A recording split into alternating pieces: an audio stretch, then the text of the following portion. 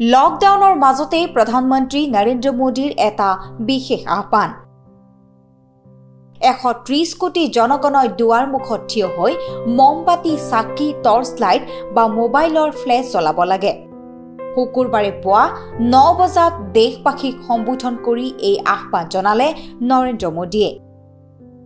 চাকি বা মমবাতি টৰ্চ আদি জ্বলোৱাৰ সময়ো বান্ধি দিলে পাঁচ এপ্ৰিলৰ নিশা ন বজাত ন মিনিটৰ বাবে। কিন্তু নিশা ন বজাতহে কিয়? বা ন মিনিটৰ বাবে কিয়? ইয়াত আছে এটা অংক। মোদীৰ চাকি জ্বলাবলৈ দিয়া অংকটোলৈ মন কৰক। প্ৰধানমন্ত্ৰীয়ে দেশবাসীক সম্বোধন কৰিলে পুৱা ন বজাত। দেশবাসীক উদ্দেশ্যি তেওঁ বক্তব্য আগবঢ়ালে ন মিনিটৰ। চাকি জ্বলাবলৈ ক'লে পাঁচ এপ্ৰিলত অৰ্থাৎ পাঁচ যোগ চাৰি সমান ন। সময় নিশা ন বজাত ন মিনিটৰ বাবে তেওঁ এই ঘোষণা কৰিলে লকডাউনৰ ন দিনৰ দিনা আৰু পাঁচ এপ্ৰিলৰ দিনা লকডাউন শেষ হ'বলৈ ন দিন বাকী থাকিব। প্ৰধানমন্ত্ৰী নৰেন্দ্ৰ মোদীৰ এই ন সংখ্যাৰ অন্তৰালত কি আছে? জ্যোতিষ শাস্ত্ৰই দাবী কৰা মতে ন হৈছে মংগল গ্ৰহৰ নম্বৰ। মংগল শক্তিশালী হ'লে মানুহৰ মনৰ শক্তি বৃদ্ধি পায়।